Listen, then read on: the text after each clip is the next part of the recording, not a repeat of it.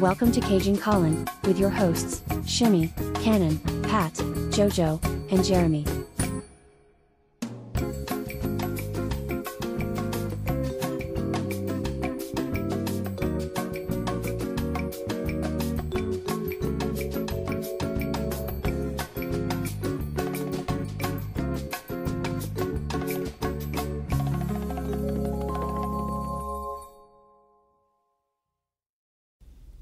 Hello, everyone, and welcome to another edition of Caging Call In. I am that cannon guy. I will be acting as host for this edition of the show. Yeah, that's right. You've heard Jeremy, you've heard Justin. Well, guess what? It is my turn. We would ask Frank to do it, but he's too busy over here playing patty cake with Abaddon. So we're just going to get this show on the road. Hey, you didn't even ask me to do this, fucko. Hey, hey, hey, hey, hey. Calm down, calm down. You got a nice winning streak over there. Just keep it going, all right? Anyway, we got some calls here on the line. The lights are blinking. They're, hot. The lines are hot tonight, y'all. So we are going to take the first call. How you doing there? And what's on your mind? Yeah, this question's for Cannon. I uh I called in last time talking about challenging challenging him for uh for sandwich competition. But apparently somebody on your show complained to my boss at the, the Jimmy John's that I worked at and fired me. So now, you know, I'm kind of jobless, but uh, we're working on it. I'm working trying to get my own sandwich truck put together, but it seems as though it's a little more difficult. But I was just calling to make sure that the sandwich competition is still on. You know, I make a pretty mean BLT. I uh, I also make a pretty mean pastrami and rye. You know, a grilled cheese sandwich. You know, I, I also can make a pretty good Philly. But uh, I, I'm fairly certain in my abilities as a sandwich creator and sandwich chef that I can I can definitely outwork you, Cannon. I can outwork you like three times over maybe even four times over. I, I'm not sure. I, I don't want to brag too much, but I just I know that you know I, I understand the bread and the assembly structures, and that you got to get it perfect. You know, got to get that nice crisp lettuce, nice crisp bacon, a little bit of tomato, maybe some mayo. It just depends on how you're feeling for uh, like you know a perfect BLT. I'm sure you don't understand those concepts because you know they're beyond you. You're you're too busy being some kind of famous TikTok star instead of having to defend this title of best chef. But, you know, the 2023 race is going to be hot, and I'm just going to make sure I put my hat out there so I can show you how it's done. You know, I'll, like, force you to sit down and watch as I butter up some throw it in a skillet, and throw some of the best cheeses in it, and make an amazing grilled cheese sandwich. And then you're going to try it, and you're going to be like, God damn, that is amazing. So, yeah, 2023 best sandwich chef right here. It's not gonna be you. Maybe by you know I'll have a job soon or something. Uh, you know, I've heard of you and uh, one other uh, disgruntled uh, so called chef that is upset that I, and for those of you who are unaware, I uh, somehow actually obtained the best local chef of Tuscaloosa a couple of years ago. And apparently that has rustled a few jimmies in, in the area. Well, um, sir, all I got to say is I know hands down that I already have you uh, dominated in a sandwich competition uh, because you worked at Jimmy John's. And uh, I'm sorry, uh, but I have no respect for a uh, sandwich establishment that doesn't even offer like a toasted or warm option. I mean, come on. I mean, how many cold sandwiches can you eat? I mean, I have sensitive teeth too. Like, I can't do that shit all the time, you know? But I'm just going to say this it doesn't matter what kind of sandwich you throw down. Hell, you can even bring a hot dog sandwich to the table because we all know hot dogs are sandwiches. I just heard a sea of buttholes pucker up all at once. Doesn't matter which one you bring to the table, I will always have your number. And that number is the number one, which is represented by my middle finger right now, which you would see if this were a video podcast, which it isn't. So you're just going to have to take my damn word for it there, bucko. Get your damn utensils ready. I got the mayo. I got the bread. Let's fucking go. Next caller. Hello. I was calling because, well, I just had to say, you're a handsome fella. All of those Caging Greatness toasts, well, they're handsome, but you, you, Cannon, you're the most handsome of all. That beard, that haircut, that occasional mustache. oh, so handsome, Cannon. Tell me, how do you do it? How do you go through life being so handsome? Well, caller, uh, thank you. I'm very flattered. We are uh, quite the uh, handsome bunch here on Caging Greatness. But uh, also now I know I, um, as the previous caller mentioned, well I'm I'm not a TikTok star as they put it, but I do put my face out there uh, on that platform. But also, caller, I must ask, since this is again an audio only platform, uh, how the hell do you know what we look like? Who are you? Who do you work for? But if you must know, I mean, it, it was definitely a work in progress. Like it it, it most certainly didn't happen overnight. Like uh, a lot of drive-through uh, fast food, uh, a lot of a lot of beer in college and after college. Um, um, and uh, you mentioned the facial hair. Uh, it was uh, it was it was it was a slow burn. Uh, it's whose fucking facial hair started at their Adam's apple and worked their way up. Like, am I the only one? Is that weird? Also, and I know people out there uh, dig the salt and pepper look. Um, I guess maybe the gray in my beard and my hair are, are, are people's thing. I, I, I don't know. I have no idea. That fucko uses touch for men. Don't let him touch of gray. Don't let him fucking lie to you. Hey, Frank. Hey, you, you shouldn't talk shit, okay? You should not talk shit. I actually envy your fucking uh, silver fox hair, okay? Okay? If I woke up tomorrow and looked like that, I'd be a okay with it. Okay? Shut up. Uh, but yeah, um, I have no idea. Um, I guess um, if people think that uh, gigantic IMAX screen foreheads are handsome, then hey, I'm your guy.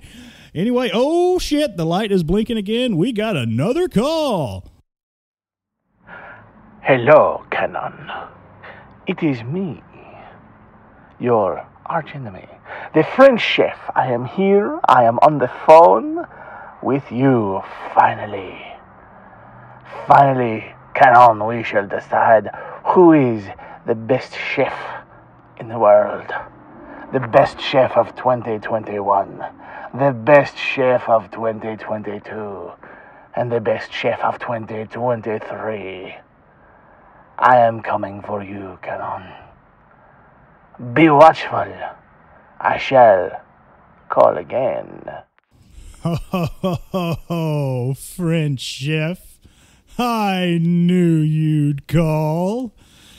So, uh, first off, um, you already called. It's a little weird that you ended the uh, the conversation, so you can you know just call again later for dramatic effect, I suppose, to to give me the heebie-jeebies. I don't know. Just stating the obvious, it's weird, my dude. Also, I cannot help but chuckle at the fact that I got a couple of people gunning for a title that I won in an industry that I'm not even employed in anymore. But you know what? Oh, look, we got another call. Uh, yes, this, uh, this question's for, I guess, uh, just for the group as a whole. Uh, I previously called asking about cages and how I found it strange that the show didn't talk about cages. You know, like cages that you would put animals in. Because I have very large animals, you see. And, and the police showed up at my home. So I'm currently, I've had to relocate to a, to a new location.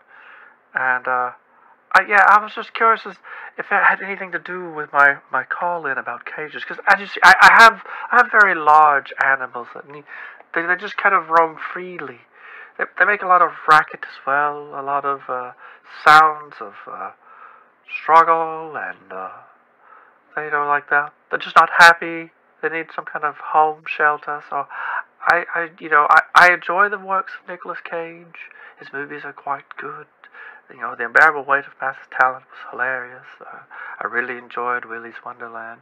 In fact, I, I recently went and saw Renfield. It was very informative about how to how to move bodies and how how you know how to remove people. There was a lot of blood.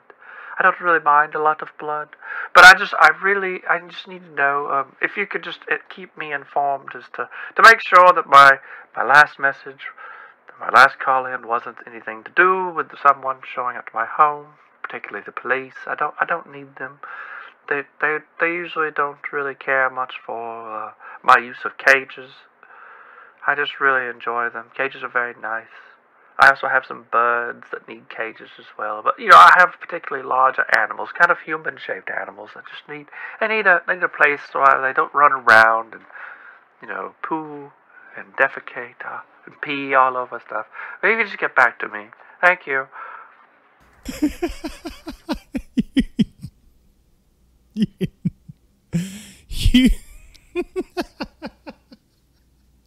Human shaped animals. Oh. Oh, okay. Well, um first off, uh, in the beginning, I couldn't tell if you were saying the word apples or animals. Uh, I, I, later uh, confirmed that you were indeed saying animals, but um, I don't understand why uh, someone would uh, necessarily be on a list for uh, looking up cages. I mean, hell, I'm sure you could find find yourself a good cage on Amazon.com. Not a sponsor not at all a fucking sponsor. but um I mean maybe if you were buying them in bulk, maybe if you were, you know, typing in uh human sh- human shaped animal sized cages into a uh a search bar, uh, you might be on uh, one or two or 18 lists for all I know. Um, but uh, yeah, uh, I do agree. Uh, Unbearable Weight of Massive Talent was uh, very good. Uh, Wonderland was a time. Uh, Renfield was quite fun as well. so so bloody, so messy, so gory, and I really hope you didn't take what you saw to heart on screen, and don't take it home with you. Okay, don't shit where you eat. Um, look under the bed for the boogeyman. Uh, people in glass houses sink ships, and a penny saved is worth a. I forgot the rest. I was literally trying to quote uh, one of my favorite movies of all time, and I still fucked it up. Uh, no, you don't have to cut this. You can. No, no we're keeping it in. We're we're we're, we're going to keep this in. Uh, we got we got pad out time anyway. Uh, Uh, do we have a call? Oh, yep. Wait. What? Do we? No. Okay. Never mind. Oh yeah, we do. Never, never mind. We do. We uh, yeah. Call. You're on the line. It is I. I have returned yet again, Cannon. You do not know how long I have been waiting for this. Not just since 2021 or 2022. No, Cannon. I have been your number one archenemy for decades. This so called sandwich artist that has a problem with you, he is nothing. This, this Gordon Ramsay sound alike person, he is nothing. I am your true archenemy, Cannon. Do you remember back in 8th grade, Cannon, when you peed your pants in front of your crush? Eh? Little Tiffany was so disgusted that you had peed your pants and you swore up and down that you did not. Well, Cannon, you were right. I am the one who peed your pants in front of little Tiffany Cannon. I am the one who put urine in your trousers. Ha ha! It was me. It was me all along. Ha ha ha! Okay, first of all, if the sandwich artist was supposed to sound like Gordon Ramsay, then as a Gordon Ramsay fan, excuse me, personally, I am truly offended and no wonder that individual worked at Jimmy John's. Okay? Okay.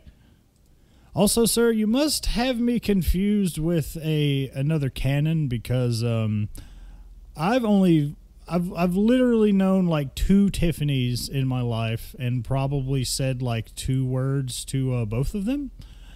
And also, I would never had peed my pants in eighth grade. I have had impeccable aim since seventh. Like, why do I have a feeling like that guy's going to call back? Frank, do you think he's going to call back? Oh yeah, he's definitely going to call back. so you two, uh, hell, both of you might call back. Y'all are going to have to settle this like in a cage or something. Okay, it seems like you two are going to have to settle your differences to get to my differences. You know what I'm saying? Of course you don't. I don't even know what the fuck I'm saying. It's like almost one o'clock in the morning, all right? And I'm doing a, a, a call in show. Like, what neat total F, okay? Anyway, moving on. Next caller. Uh, yes, this is a call for Cannon. I'm, uh, I'm I'm named Steve from Mid Oregon. I'm from Blockbuster. I have on our files that uh, you have an overdue film on our records for, uh, it seems as it's uh, a DVD copy of Super Baby Geniuses 2. Yeah, uh, if you could, it's way, way past overdue, and we would really like for you to return that sometime within, you know, maybe the next six months. So if, if you could drive out here to Oregon uh, and just return that. I, you know, we can discuss uh, payment options on the very large, enormous sum uh, late fee that you currently have on this film. Again, that film being Super Baby Geniuses 2. And, uh, yeah, if you could just call us back or, you know, email us something. We, uh, we, we just, we really like for that return. We have a customer that's coming in constantly asking about it. And we told them we don't have it. Uh, they're not really too keen on the whole streaming idea. They want like a hard physical copy of it. And uh, we were just, you know, curiously, we looked at our system and saw that you had checked this out and, and just never returned it. So if you could just get back with us. Again, uh, this is Blockbuster. My name's Steve. Hi, this is uh, Bend, Oregon. Uh, thank you. Uh, have a great day. Yeah, uh, I'm sorry, everyone. This this has to be yet another uh, case of mistaken identity because anybody who knows me, like I, the farthest north I've ever been, and it's you know kind of a shame for me to admit this out loud, but Tennessee, and I was born and raised in Mississippi, so yeah, haven't been far, haven't seen a lot, been to a few places, but you know, haven't seen much. You know, just throwing that out there. Uh, and also the last time, excuse me, last time I uh stepped foot into a blockbuster is when I got fired from a blockbuster. Yeah, I was um, in college at the time, and I the reasoning was uh, work and school schedules conflicted, which uh, was complete and utter bullshit. But uh, funny story, uh, as a blockbuster employee, you get like uh, I think it was like seven, seven or eight free rentals a week at that time. And I was walking around the store, do do do do do, grabbed all my titles like in a stack, just do do do do do, put them on the counter. They're like do do do do do. Oh yeah, you're fired. But oh, but you can still take those tonight as long as you bring them back tomorrow. Yeah, I'm gonna get finished with four movies and three video games in less than 24 hours. Dipshits. uh, but yeah. Um. Also, uh, you can take my copy of Baby Geniuses 2 from my cold, dead fucking fingers, you hear me? Do you hear me? I'm sorry. I'm sorry, everyone. I, I, I hope I didn't um, hope I didn't hurt anyone's feelings or eardrums with my outburst just now. You can still try to take it from me, fucko. All right, uh, next caller. Uh, yeah, and another thing, Cannon, I don't understand how it is you became so famous on TikTok without having to say anything about cooking. You know, it's all about these movies that you like reviewing. You know, and then you're on this podcast here about Cage, Nicolas Cage, other Cage stuff. I don't know. And then I hear about other people and you arguing with yourself or something. You, that doesn't sound like best chef material. You know, you, you don't put anything out out there. I live and breathe just nothing but sandwiches all the time. You know, I've worked for some of the best. You know, I've worked for the Jimmy Johns and the, the Jersey Mikes. You know, some other named people with sandwiches. You know, I occasionally worked at a Quiznos for a hot second. I I've worked in so many sandwiches places I can you can't even imagine. It's just fathom it. It's just tons of sandwich places, and you know just because apparently I, I didn't want to focus on anything else, and clearly I'm not the best sandwich person in the world. Of one of my managers saying, you know, he was wrong. Because you know, my mom, she loves my sandwiches. She'll, anytime she calls me up, she's like, Oh, I need you to come over and make me a sandwich because you're clearly better than that Cannon guy. You know, all I see on his TikToks are just him and wrestling. You know, that's what my mom says to me. So it just inspires me to make sure I'm a better sandwich chef than you so that I can always make sure that I'm just going to bury you when the time comes. You know, whatever that is. I don't know when your availability is. My availability is pretty free lately, so so yeah. Just you know, you get with me and we'll we'll we'll have this sandwich competition. You know, we'll find somebody to judge it. I'm sure the that Justin or Jeremy can do it. Or maybe even some of the other people that are like on your show that I occasionally have to listen to just so I can make sure that you're not just talking shit about me. So yeah, you pick the date and I'll be there, Cannon. Sandwich off. God, you and your fucking sandwiches. What is it with you and fixing fucking sandwiches? Yeah, we do love talking about movies on the podcast, and of course, I love talking about movies on my uh, TikTok account.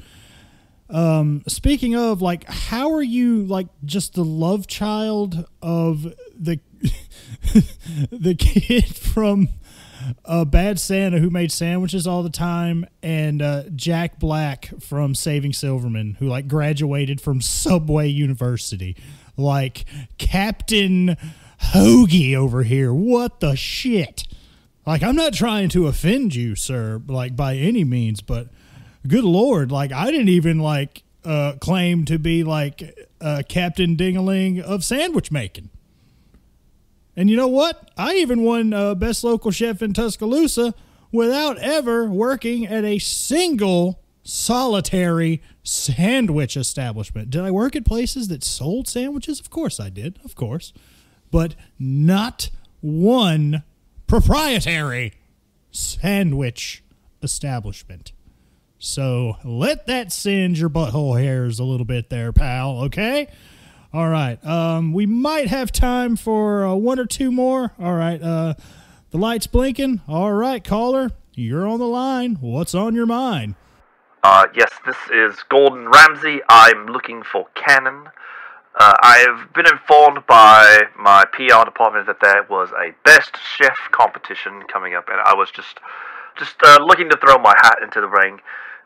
I'm not sure what the uh, cooking format is or any of the other competitors. I was just informed that I should call this number, tell them my name, and then that I was informed to put my name in the hat for Best Chef of 2023, and that Cannon was the person to uh, to mention in this competition.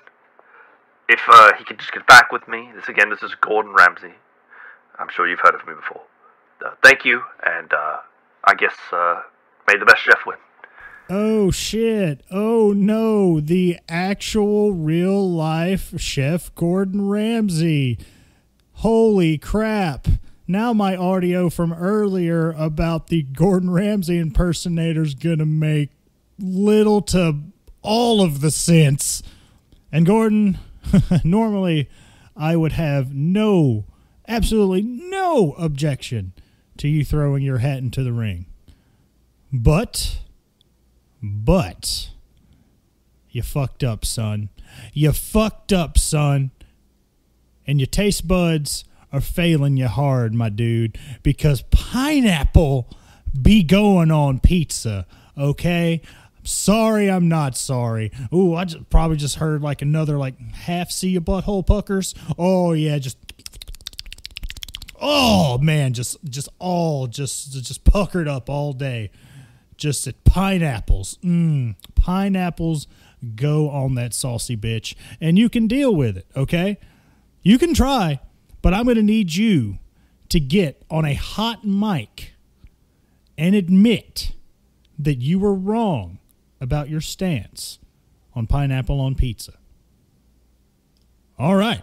Do we have time for another? We might have time for another one, y'all. Do you remember, Cannon? Do you remember that social studies test? Not only did you get a zero for getting all the answers incorrect, but your teacher was very displeased about a note that you left on the back calling her a wrinkled old hag. Cannon. It was me. I ruined your social studies test. You had a perfect score before I arrived. but I, I was pushing you, Cannon.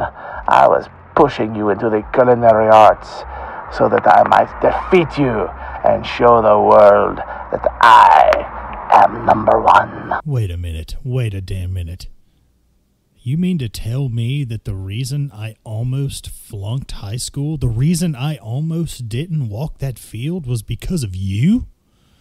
You son of a bitch. You son of a bitch. So all this time I thought that I just just just couldn't math correctly. It was it was because of you. You invented math? You bastard. You're probably responsible for Common Core too. Man, man, you just making math make just less sense. and I know you, fucked me up in social studies. Well, guess what? Nobody can fuck me up in social studies, son. You want to know why? Because it's just memorizing things. It's just memorizing things and then taking a quiz. Hey, do you remember the thing? Yeah, I remember the thing. Done and done. Here's what I'm proposing to the both of you get a triple threat hell in the cell inferno match.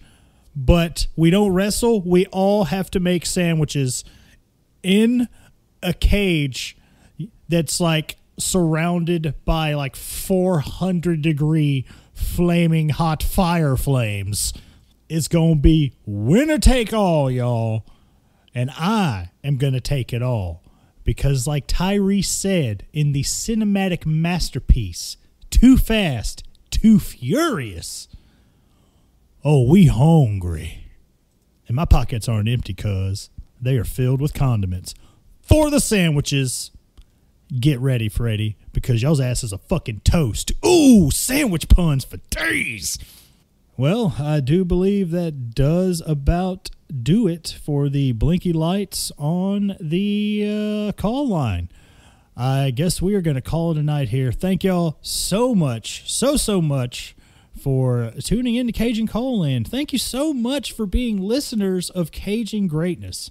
Uh, you can follow me at that Cannon Guy on pretty much all social media platforms. And uh, be sure to follow Captain Shimmy on all of his social media platforms. And please do not forget to follow our boy Jeremy on all of his socials. And please check out the brand new episode of Jeremy's podcast, the instruction booklet that is coming out same day as this episode right now. As you're listening to this, when you're done right now, you got a whole other episode of semi cagey goodness to listen to. So what are you waiting for? I'm done here. You're done here. Go fucking listen to it. It's out right now. Thank you so much, everybody, for uh, tuning in. Uh, we will hopefully be back with a normal episode soon. Uh, sorry, pretty sure uh, where we record uh, the show now is a biohazard. I'm probably breathing in poison as we speak. Uh, with that being said, I have been that cannon guy. I am now signing off. Have a good night, y'all. Peace, love, and bacon grease. えっ?